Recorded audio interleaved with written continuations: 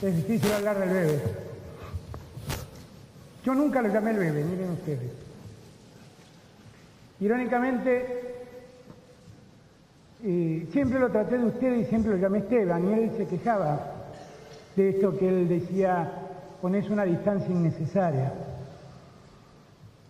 Pero Esteban no sabe lo que fue para mí.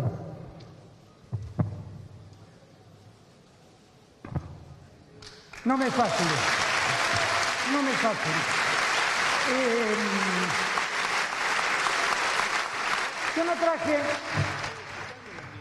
tantas citas como trajeron quienes me precedieron en la palabra, porque créanme que Esteban dejó sus citas en el alma y en mi cabeza.